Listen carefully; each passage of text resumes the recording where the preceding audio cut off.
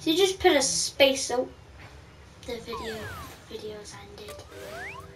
They normally end is like that, because.